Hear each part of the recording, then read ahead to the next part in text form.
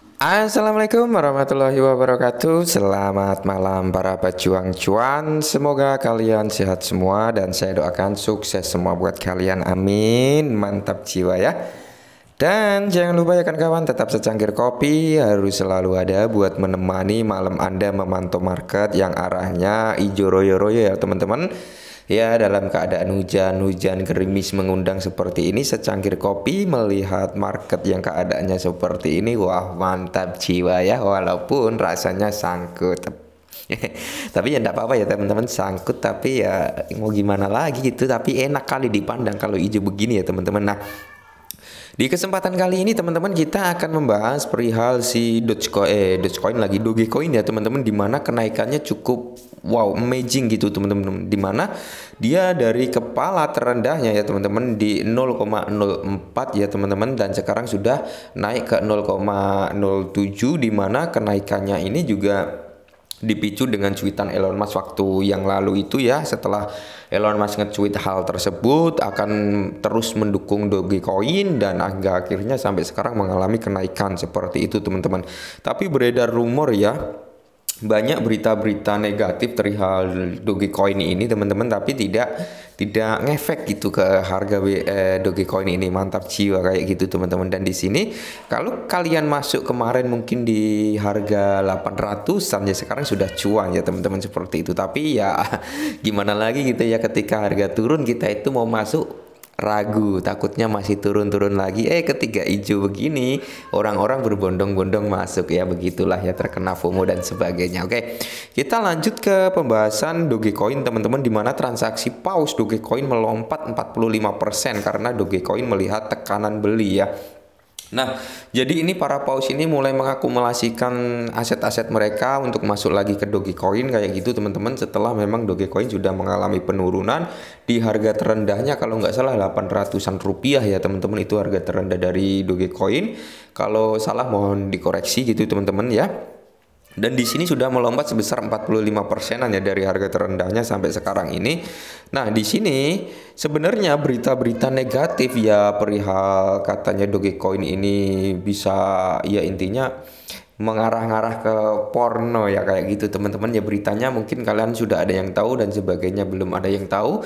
Berita negatif yang menyerang Dogecoin ini tidak mempengaruhi harga Dogecoin ya. Mantap jiwa juga untuk Dogecoin ini teman-teman ya. Karena banyak food juga gitu yang beredar untuk menjatuhkan Dogecoin cuman di sini juga tertahan gitu karena memang uh, power dari Elon Musk itu cukup amazing gitu teman-teman. Kan kalau kita lihat lonjakan transaksi besar biasanya terkait dengan peningkatan aktivitas dari paus ya. Ya memang kalau Dogecoin ini adalah 10 aset cryptocurrency yang dicari oleh para paus ya teman-teman. Dia ya bisa dikatakan seperti itu sesuai datanya memang Dogecoin ini masuk top 10 yang diminati oleh para paus. Apalagi isu-isunya ya isu-isunya akan ada blockchainnya sendiri untuk si Dogecoin. Kalau nggak salah seperti itu ya mohon dikoreksi kalau salah. Dan berita itu ya teman-teman juga mendukung untuk kenaikan daripada si Dogecoin itu sendiri Nah, untuk menurut data Into the Block ya Into the Block ya paus Dogecoin atau pemegang besar sedang bergerak karena transaksi besar meningkat hampir 45% dalam 24 jam terakhir. Jadi tingkat transaksi untuk Dogecoin ini meningkat nih 45% ya dalam 24 jam terakhir.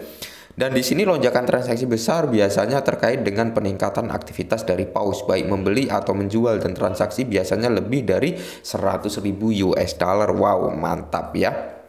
Nah, dan di sini ya, ini mau e, mengikuti setelah 600 juta Dogecoin ditransfer ke Robinhood dalam empat transaksi terpisah ya teman-teman. Jadi ada transfer sebesar atau sebanyak 600 juta dalam bentuk Dogecoin ya teman-teman. Ini ditransferkan ke Robinhood. Ya karena memang platform ya platform Robinhood ini kan memang banyak ya paus-paus ya yang bersemayam di Robinhood gitu. Karena memang dari Robinhood sendiri nggak ada biaya ya untuk transaksi dan sebagainya. Makanya paus-paus tersebut cukong-cukong tersebut suka sekali ya dia menginap di Robinhood kayak gitu teman-teman. Dan di sini uh, uh, apa ya ya menurut peringkat Wild ya yang terbesar dari ini memiliki 299 juta doge yang dipindahkan sementara yang lain masing-masing memiliki 100 juta doge yang ditransfer. Wow.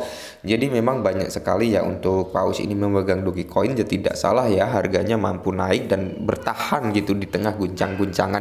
Berita-berita negatif keadaan market yang seperti ini gitu teman-teman. Dan di sini kalau kita lihat juga Uh, Dogecoin juga me menempati peringkat sebagai salah satu kontrak pintar yang paling banyak digunakan di antara 1000 dan 4000 paus Binance Smart Chain teratas dalam 24 jam terakhir. Wow, mantap. Dan di sini aksi harga Dogecoin ya teman-teman. Dogecoin rebound dari posisi terendah yaitu 0,04 pada 18 Juni itu harga terendah daripada si Dogecoin.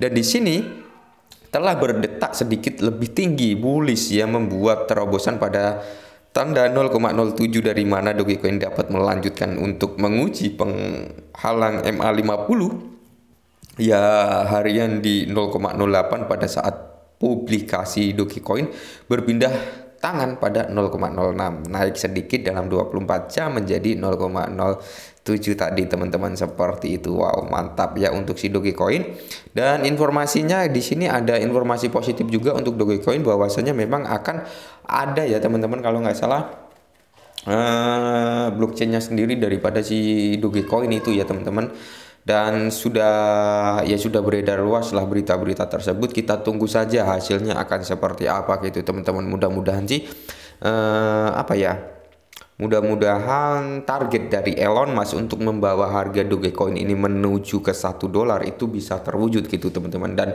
jika memang Dogecoin ini bisa ke satu dolar, saya yakin orang-orang yang hold atau yang ngebeli Dogecoin di harga kemarin terendahnya di 0,04 ketika bisa menyentuh satu dolar kalian akan menjadi orang jutawan atau bahkan kalau kalian berani berakumulasi banyak ke situ mungkin miliarder teman-teman tapi ingat yang namanya dunia cryptocurrency nggak nggak semua semulus apa yang kita inginkan dan tidak semudah apa yang kita bayangkan ya. Kalau nggak untung ya rugi.